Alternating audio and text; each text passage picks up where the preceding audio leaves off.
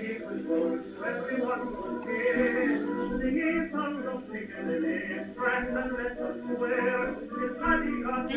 section of the exhibition is called Life at the Home Front and describes life of the period during the First World War. So here we have teacher's desk and the children's desks and the blackboard. But we've got one or two interesting things here as well. Over here we have in the showcase we have two rather wonderful figures of the period.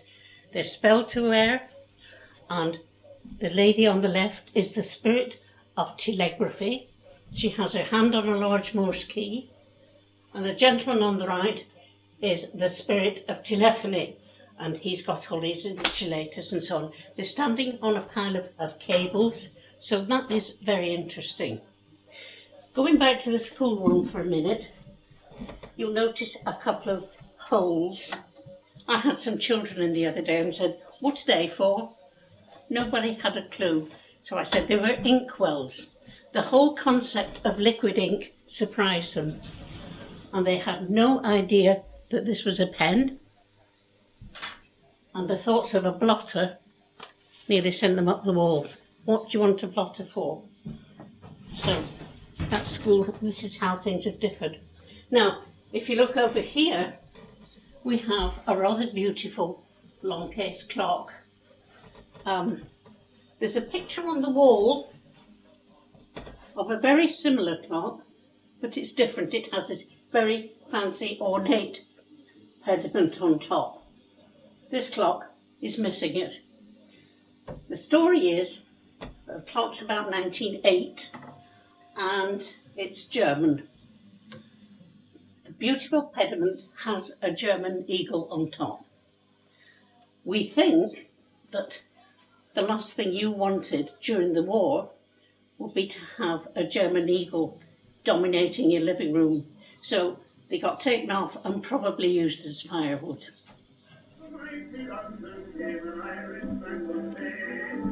Is military developments in electronics and communication since World War One. During World War One, there was wireless, but it was fairly primitive. By World War Two, it had developed a lot, and we have an example here of a German EK receiver that came out of a Heinkel bomber that was shot down in the first air raid on the Forth Bridge in October 1939. It's a marvellous piece of engineering. It is in fact miniaturized to an amazing extent for the 1940s. The downside was that it was almost impossible to service it in the field, unlike the British equivalent. But a very well engineered piece of kit, nevertheless. Also in this bay, over at the other side here, we have a very rare piece of equipment. It is in fact the radar set from a British fighter that was developed in the 19, early 1960s and was cancelled, the TSR-2. The airborne radar set here was built by Ferranti's in Edinburgh and at the time it was state of the art. Ferranti's went on to be one of the world leaders in radar technology.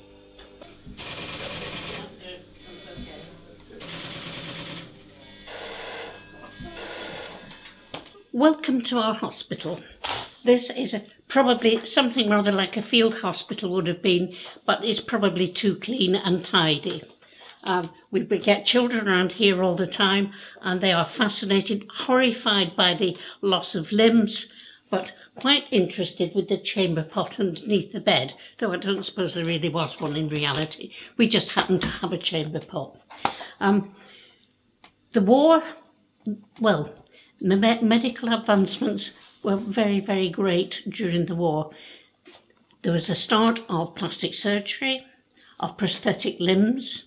X-rays became fairly commonplace, as did blood transfusions. So really it was one of the very, very few advantages of war. It's so sad that you have to have a war to make things happen.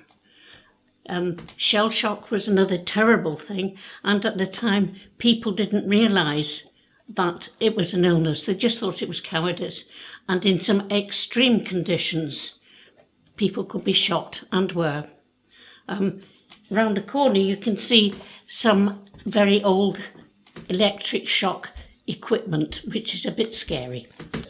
Well, X-rays were um, discovered in 1895 by Röntgen in Germany. They were called X-rays because people didn't really know what they were, but they knew how to make them, which was to accelerate electrons at very high speed and strike a metal target in a vacuum.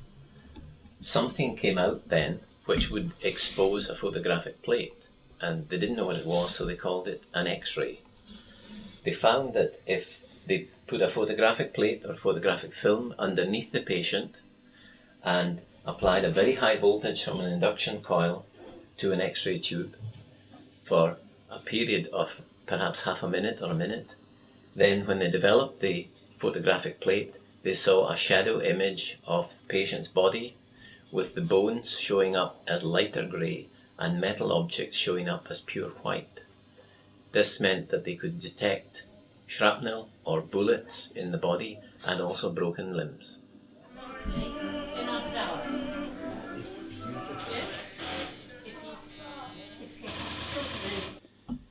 When we set up this exhibition, we thought we need a trench. Now, before you set an exhibition up, you, you do a lot of cleaning and polishing and painting, usually. But with us, we didn't do that. We were scratching our heads in dismay how do we get some muddy water? How do we make it dirty? So really, as trenches go, this is far too clinically clean, but uh, it's the best we could do. Uh, if you look at the picture on the wall here, you can see this poor man is standing up to almost up to his knees in muddy water. In those days, there were no such things as wellies, so you just had to get wet. Must have been dreadful. I think the, the pure horror of living in a trench must have been frightful. It must have been incredible smells. The food was bad, the sanitation was disgusting, and in addition to everything else, you had little friends like this, little fat rats and also you had lice. If you came off the front line, your first stop was, wait for it, the delousing station. So that must have been dreadful. Not only were the lice inconvenient and uncomfortable, but they also carried typhoid. And again, that was one good thing that came out of the war, was that virtually every soldier was um, inoculated against typhoid by 1915 uh, over the top, use a ladder like this. You didn't poke your head over the top, otherwise you get a severe headache. So you stood on this. That is a firing trench, a, a, a fire step. Stood on there, poked your gun through the sandbags, and took a pot shot at the, the enemy. If you wanted to see what was going on, again, you didn't put your head over the wall. You used this, you used a periscope. In here, we have a dugout, really, because we've got some very, very rare equipment in there. So to protect it, we, we hit on the idea of having a little scene.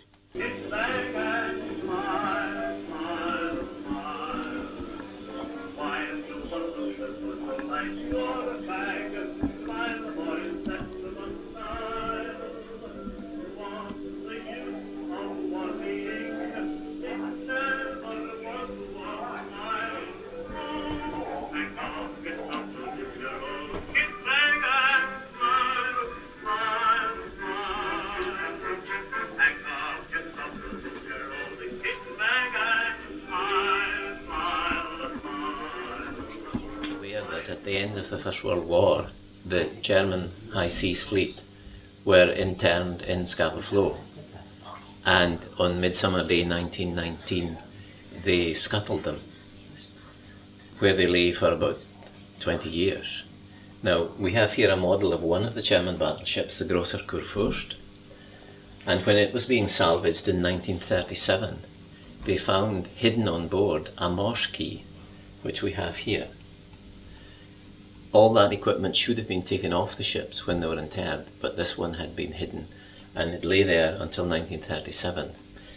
It was given to a photographer who was visiting the salvage operation by the salvage contractors, and much later um, it was passed to someone else, and eventually it found its way into our collection. It's too long a story to tell, but it's a fascinating story.